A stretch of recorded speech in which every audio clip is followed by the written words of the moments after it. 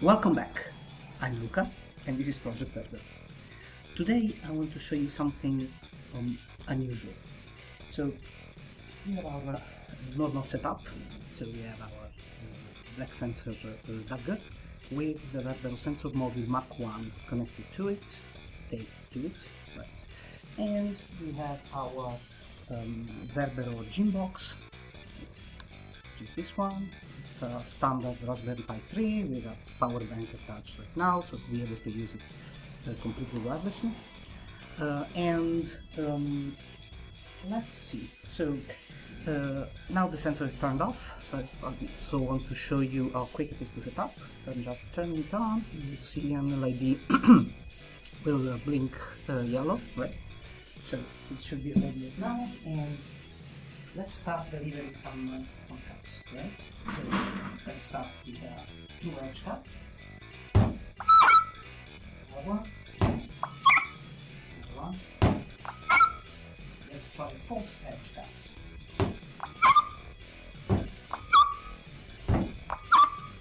Some thrusts. A slice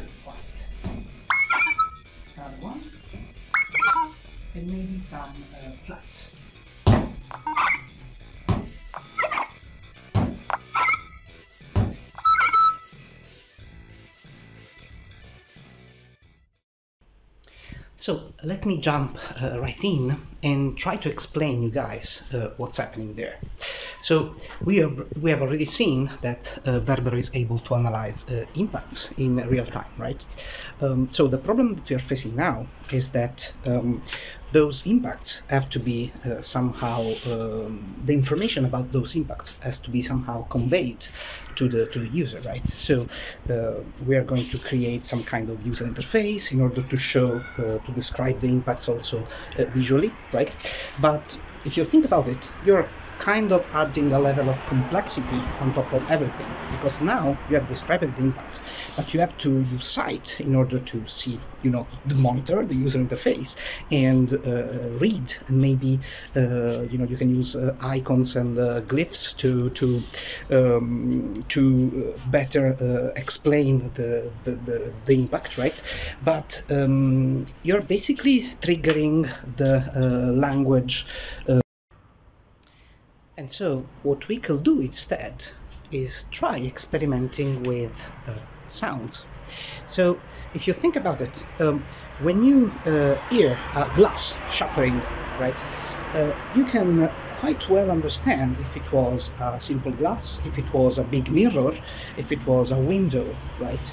And uh, uh, it all comes down to uh, train your ear, your hearing to recognize those kind of patterns, right? If you hear a car passing by, uh, you can understand if it's a big car, if it's a truck, uh, you know, uh, uh because your uh, hearing is already trained to perform those tasks, right?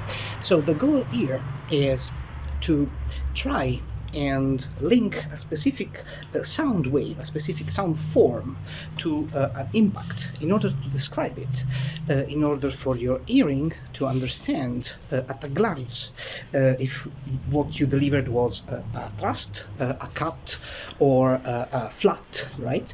And also in what measure these components will sum up to describe the full the full impact right? And uh, uh, in order to do this, uh, we use some some technique. so let's go back to the video and try to understand how that's happening. So uh, let's see how we can generate a sound for a specific uh, impact uh, based on some considerations, right? So the first consideration is that um, the um, the data from the uh, impact uh, will deviate from standard um, form, from standard frequencies, uh, quite um, suddenly, right?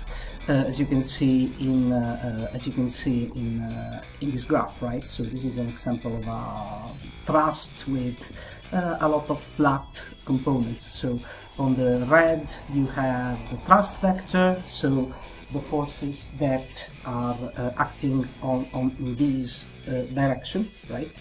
On the yellow, you have the edge vector, so the forces that are acting on this vector, and on the green, you have the flat vector, so the forces that are, that are acting on this vector, right? What you see here on the graph is not actually the, uh, the trace of the accelerometer, but it's data which is uh, which has been already elaborated by by the system, right? And um, you can see uh, you can see here that um, I've added a couple of lines here. So let's say that we don't consider or we consider uh, less the data which is inside these thresholds, right? Because this is the normal um, uh, pattern of the sword, of the dagger, when we are just moving it. When we have an impact, we have some peaks, right? And we can associate a specific frequency to each peak. And let's say the human ear uh, is quite sensible to uh, high pitch frequencies and less sensible to low pitch uh, frequencies. Um, and there are some sweet spots of frequencies that that can really get the attention of our uh, hearing, of our brain, right? So to, to, to demonstrate that, uh, let's uh, let's make an example, right? So um, there is a technology which is called uh, DTMF, which basically are the tones that you hear on the phone when you when you press the, the, the, the keys, right? So uh, how does that work, right? So I'm talking I'm talking of, of, of this one, right? So uh, when you press the keypad on your your phone, you hear your noises basing on the sounds uh, on the, on the numbers, right? Your specific sounds, right? and that works basically combining uh, two frequencies on a matrix, right? So these frequencies are combined in a, uh, two, um, two uh, sine waves, basically, which get uh, outputted by the, uh, the, the, the loudspeaker or the, the phone, right? And you can actually understand if uh, it is a low number or a high number, even if you don't know what the number is, right? So a 1 will be a pretty low frequency, a 9 will be a pretty high, right? And in between, you can actually grasp if you are uh, uh, dealing with a small number or a high number, right? So in the same way, uh, this technology is associating a specific frequency to to each specific row and each specific line. What we can do is that we can associate a frequency to each specific uh, curve, right? So in this case, we will have a high pitch, um, a high pitch sound for thrust vectors. We will have a medium sound, which is kind of sweet spot, kind of the sweet spot of the hearing for the um, edge vectors, and we will have a low frequency um, sound for the flat vectors, and we can combine them together, right? So let, us start with just the just the thrust uh, enabled right? So you can see uh, what I'm talking about. So if I deliver some thrusts now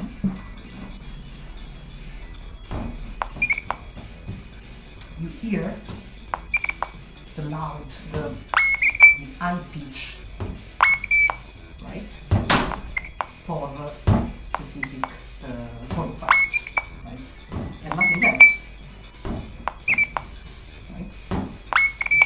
you know that when you hear an high pitch, then that's a thrust component, right? Same thing we could do with the edge vectors, right? So right now only uh, edge vectors will produce a sound, right? And this is the medium right spot for the view.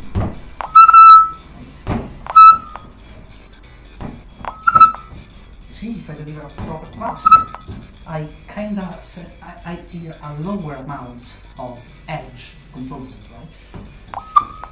While if I deliver a proper, uh, a proper cut, you see a lot of you see a lot of noise on that specific threshold, right? And we can also understand if the pitch is going up this will be a false edge. If the pitch is going down, this will be a true edge cut, right? So true edge cut, see, it goes up, and a false edge cut. See, it goes down, right? on that specific frequencies.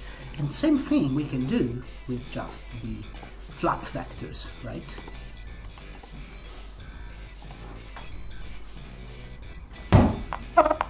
Almost nothing, right? But if I deliver a, a false, uh, um, sorry, a flat uh, hit, you see, you have a lot more data on that specific thresholds, right? So if I can activate uh, all of them together,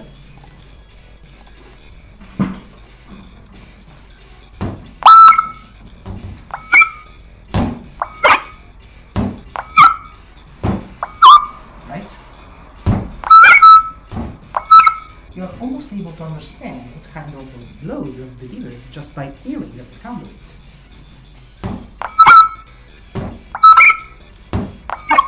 right? So true edge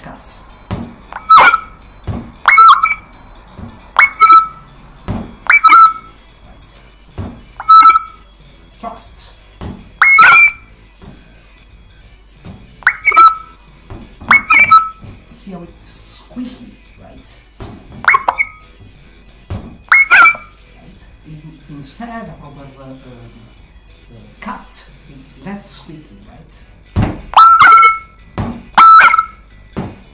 see that middle spot. Right. And I can also it with the flat components, right? You see? It's a lot, there's a lot of vibration, right? After the which you're able to hear, right? And uh, finally, uh, let me finish this video with an anticip anticipation for, for the next one.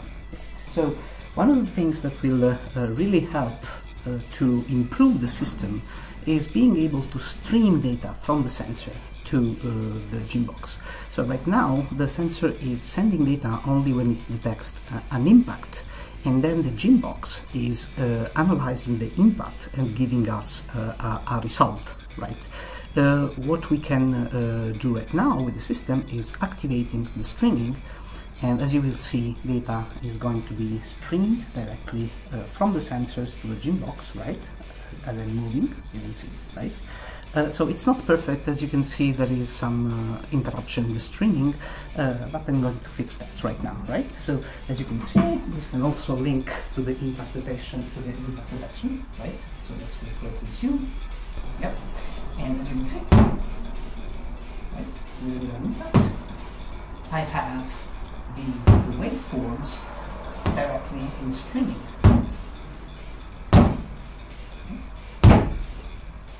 And this can be uh, really helpful, so I can stop the streaming uh, just by pressing the button right now. Right?